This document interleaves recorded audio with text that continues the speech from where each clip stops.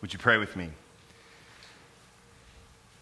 Heavenly Father, we pray that you would send your Holy Spirit in our midst. The same Holy Spirit which inspired this scripture would now come and illumine our minds and hearts to hear and receive what you have to say to us. Lord, give us ears to hear and hearts to receive and wills ready to obey. And we pray for all of this, not for our sake only, but for the sake of the glory of the name of Jesus and the building up of your church. In his name, amen. Please be seated. Well, good morning. My name is Curtis Froisland. I'm a priest on staff down at Grace Anglican. If you haven't met me, I've been up here, I don't know, maybe a half dozen times now. Um, and it's, it's always a joy to get to come and uh, preach, share in the ministry of the word with you. And this morning, I will get to celebrate for the first time uh, with you. And so that's awesome. Um, I'm married. I have seven kids. I've been in ministry for a long time, but I've only been an Anglican for like two years. And um, so forgive me if I mess anything up.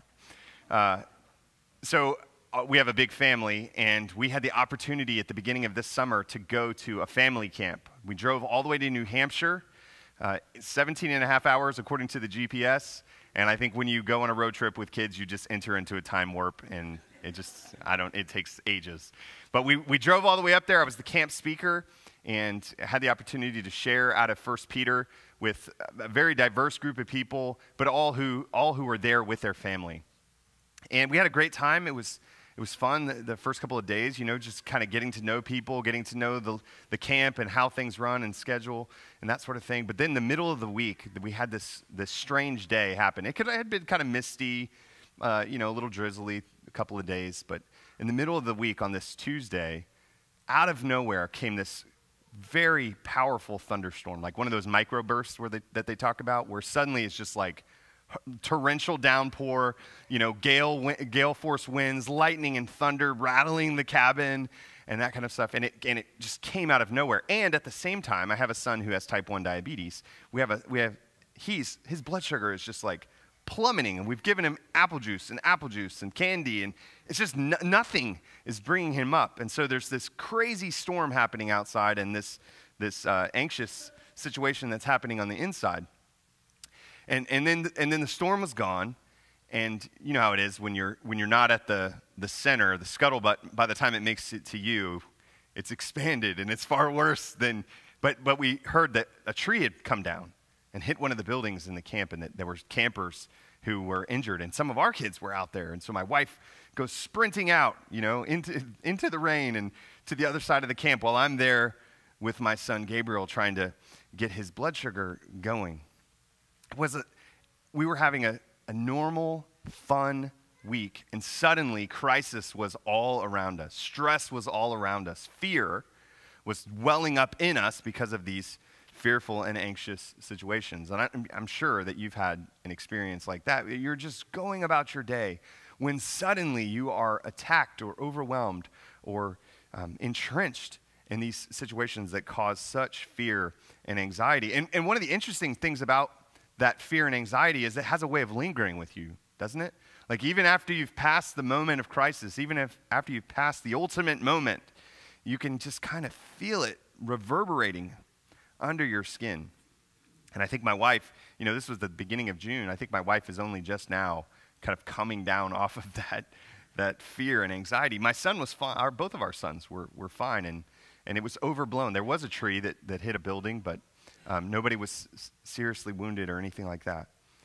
But, but we know what that feels like, being overwhelmed with fear. And I think, think about a time when you felt that way, and, and you will be able to connect with what David is describing in Psalm 55. I think the big idea that David wants us to hear is that when fear makes you want to flee, flee to God.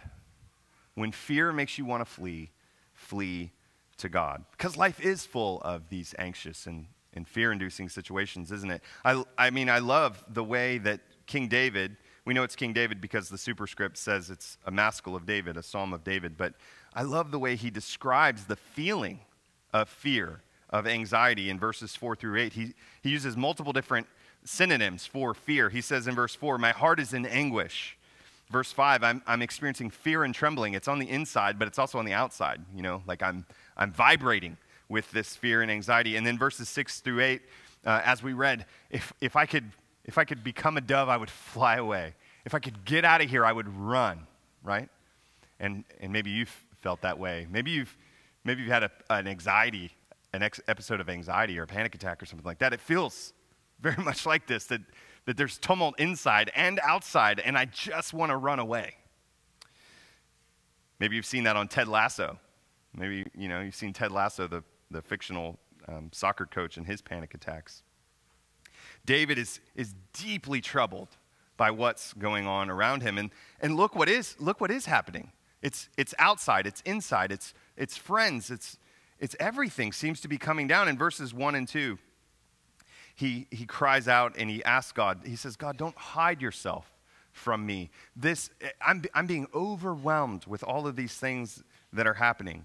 My life and my livelihood are threatened. He says in verse 3 he can hear the sound of the enemy, the sound of those who hold a grudge against him. They're coming. They're sort of, um, you know, they're mustering the troops, so to speak, and to come out and, and get him. They're after him.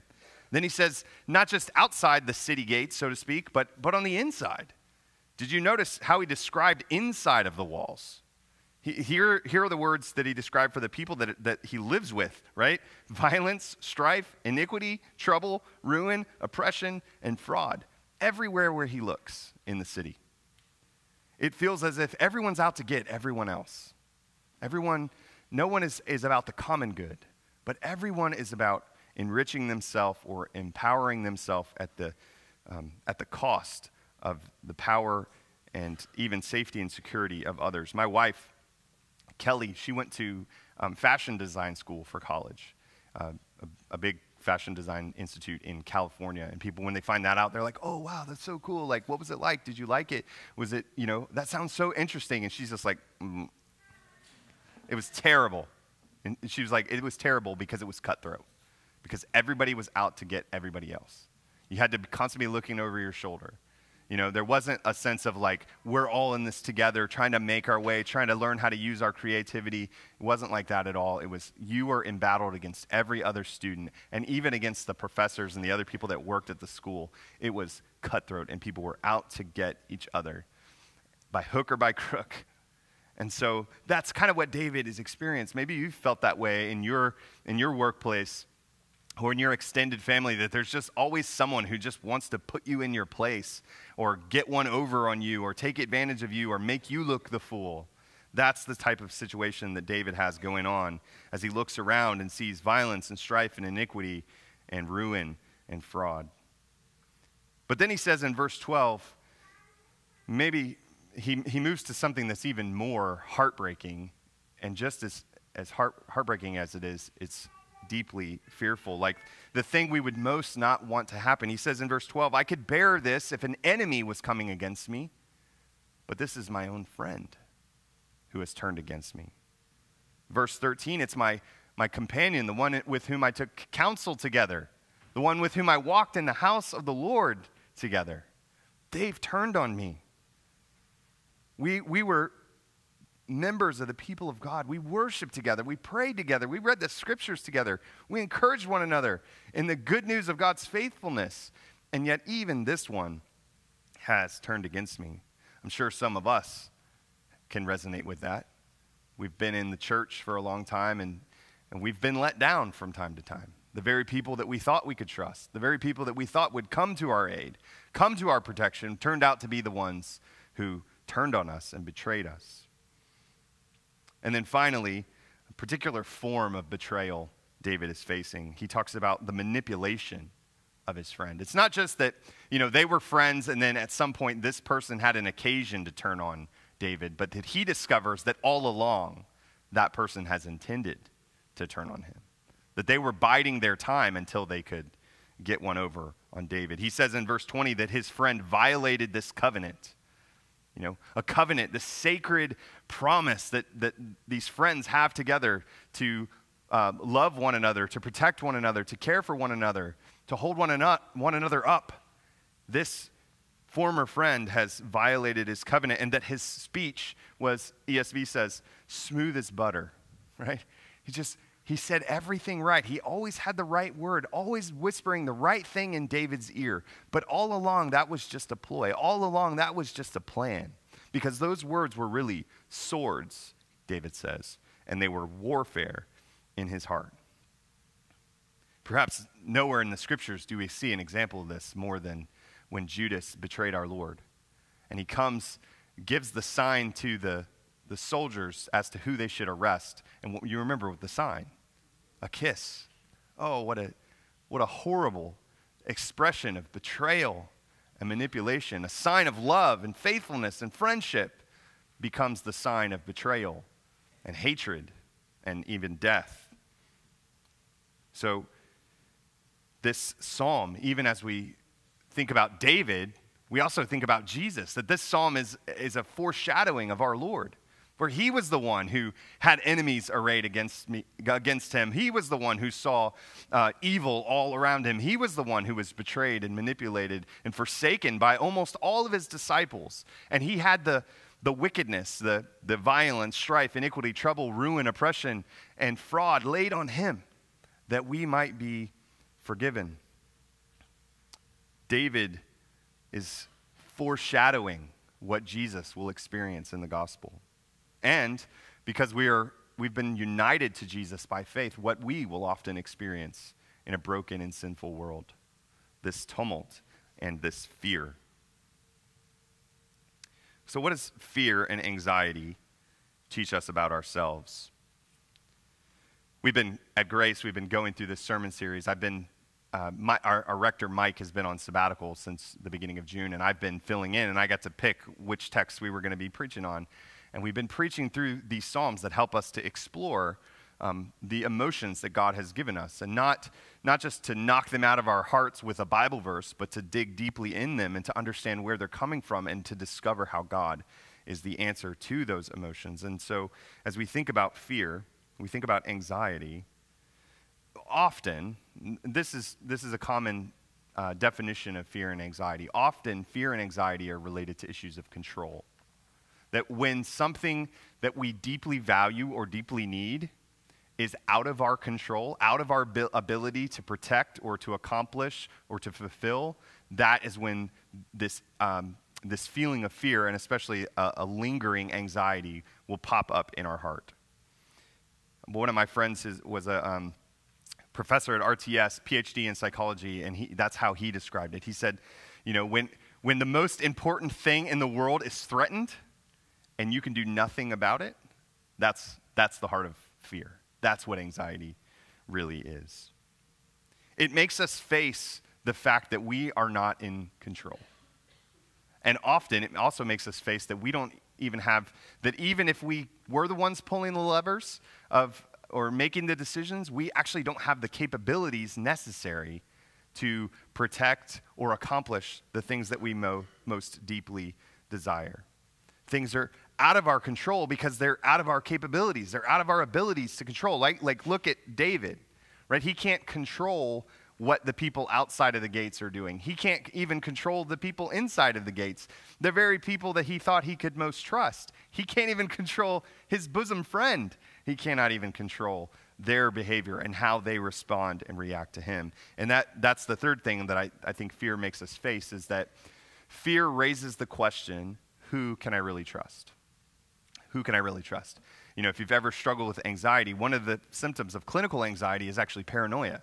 You start to think, I can't trust anyone. I can't trust anyone to help me. There's this thing that I need, and I can't do it myself, but I also can't trust anyone else to do it. And so you get stuck in a cycle of fear and anxiety. Because life so often reveals that you can't trust the people that you need to trust. Now, nothing in the psalm says exactly what David's situation is. You know, like Psalm 56, the next psalm, describes when, uh, when he was in the land of the Philistines, that that's where uh, Psalm 56 came from. But Psalm 55 doesn't give us that. It's just sort of general, um, general descriptions of David's life. But it's hard not to hear, if you know the story of Scripture, it's hard not to hear in the sort of echoing in the background the rebellion of David's son Absalom.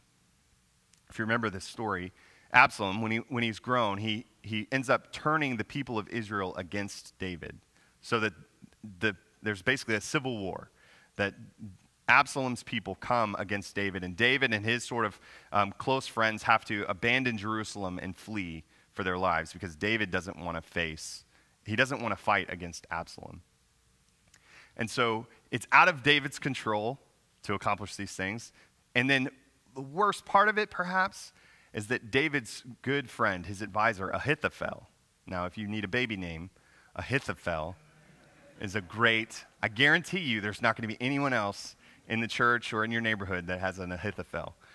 So Ahithophel is David's uh, one of David's advisors. He is one that David would have walked in the house of the Lord, that they, he would have worshiped with him. He, when something was, you know, when a situation like this was happening, Ahithophel would have been the type of person that David would have said, What should I do? What would the Lord have me do?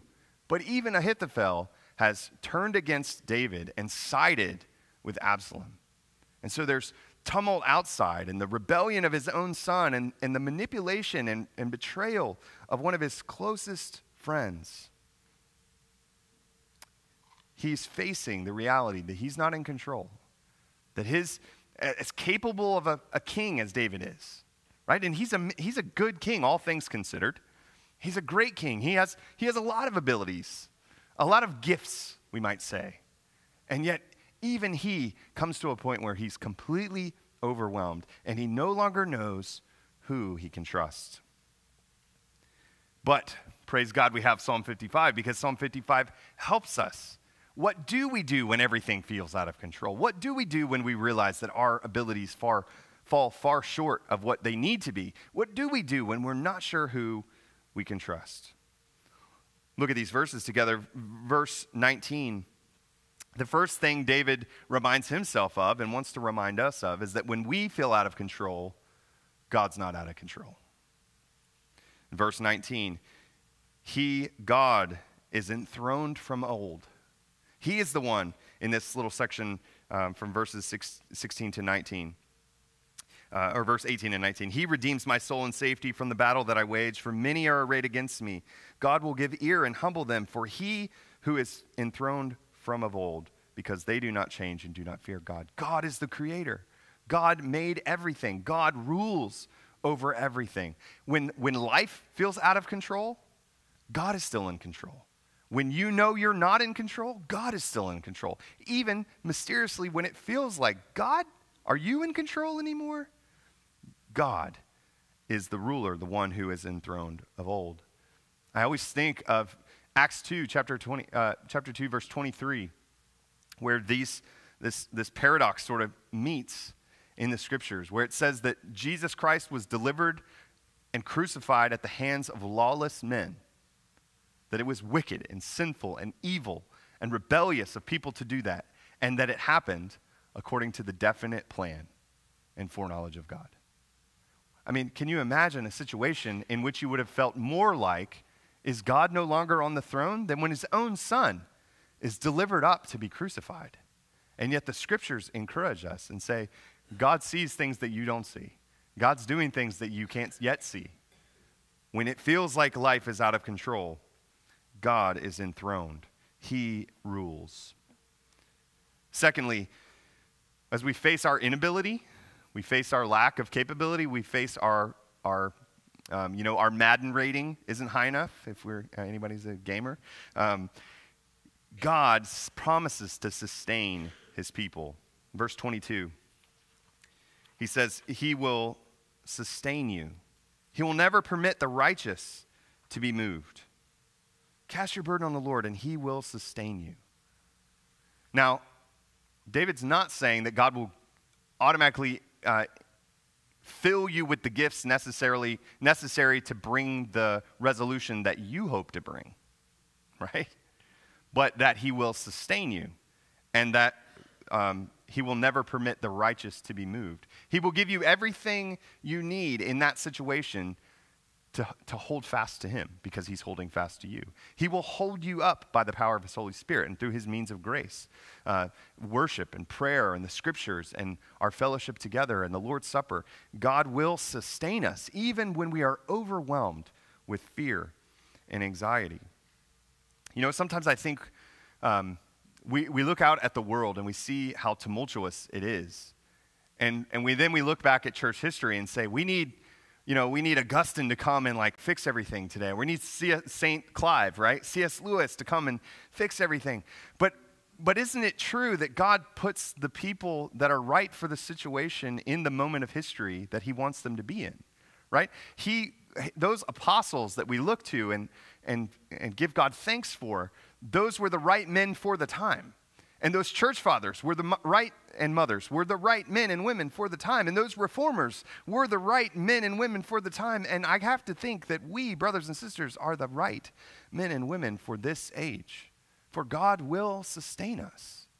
It doesn't mean we're going to um, accomplish our goals and our dreams and our checklist, but God will sustain us and He will not let the foot of the righteous be moved. In Hebrews chapter 13, one of the beautiful um, benediction doxologies in the New Testament. It says, Now may the God of peace, who brought again from the dead our Lord Jesus Christ, the great shepherd of the sheep, by the blood of the eternal covenant, equip you with everything good that you may do his will, working in us that which is pleasing in his sight through Jesus Christ, to whom be glory forever and ever. Amen.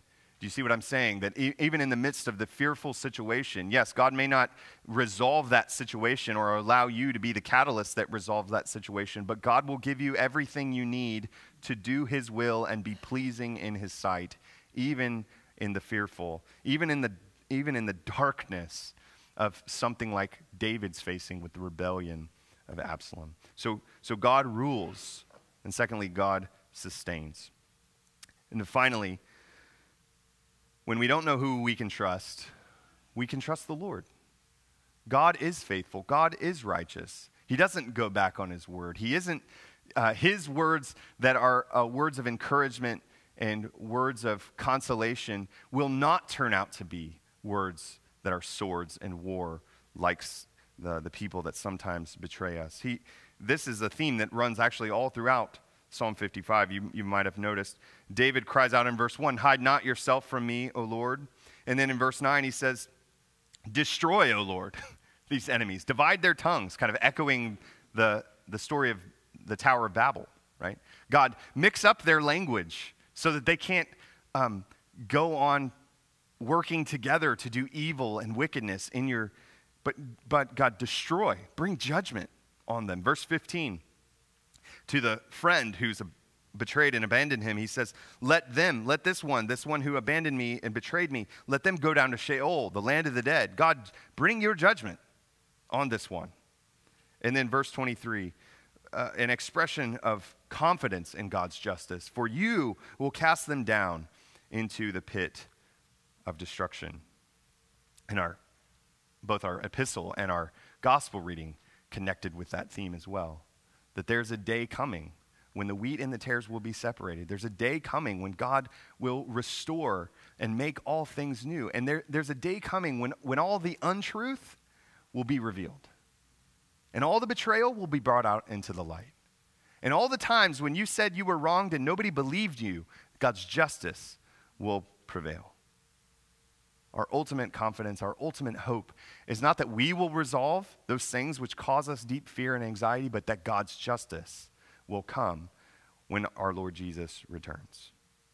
We say week by week in the Creed, He will come again in glory to judge the living and the dead, and His kingdom will have no end. His kingdom will have no end. No one will escape His perfect righteousness. No one will escape. No one will be able to go on hiding the animosity and the hatred and the betrayal and the evil. So, what do we do? How do we, how do we take these things to heart, right? I like how David ends, um, verse 23.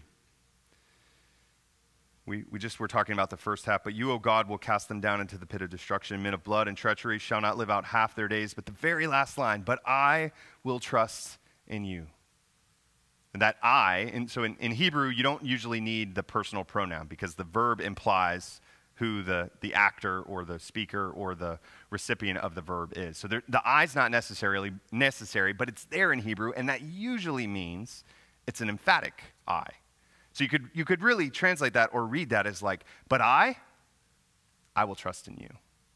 I myself, I will trust in you. David, this one who it seems like everything has been upturned And there's just evil and wickedness and betrayal and manipulation everywhere he looks. He hopes in God and he trusts in him. Do you trust in God this way? Do you trust that God is the one who rules? Do you trust that God, um, that, that, that God will sustain you?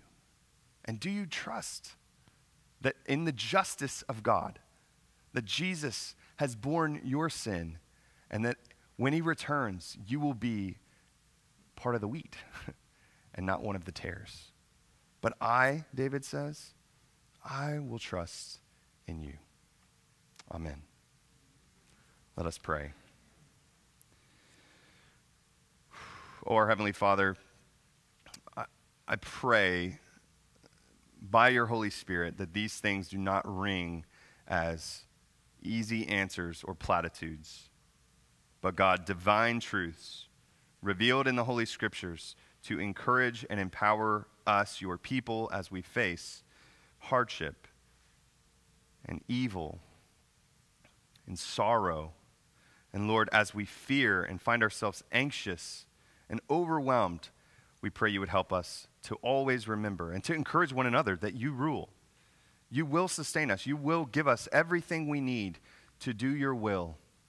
And Lord, um, sow deep in our hearts a confidence and a hope in the return of Jesus, his perfect justice, and the restoration of all things.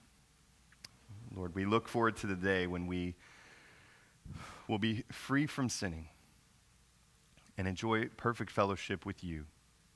We pray for all this in Jesus' name. Amen.